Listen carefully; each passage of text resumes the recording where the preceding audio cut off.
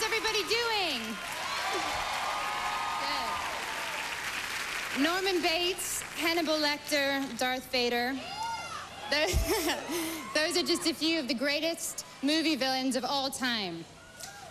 Everyone loves a villain, I know I do. well, tonight's winner for Best Villain will join their ranks. So embrace your dark side and enjoy these nominees for Best Villain.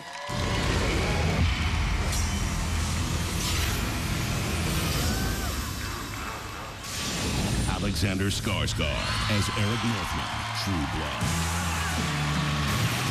That's Eric.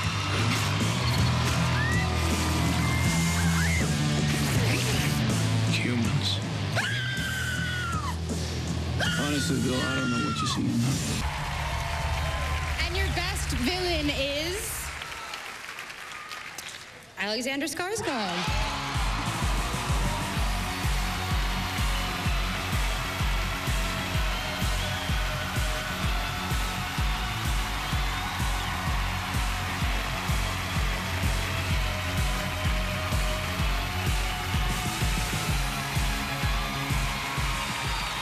Thank you very much. Um,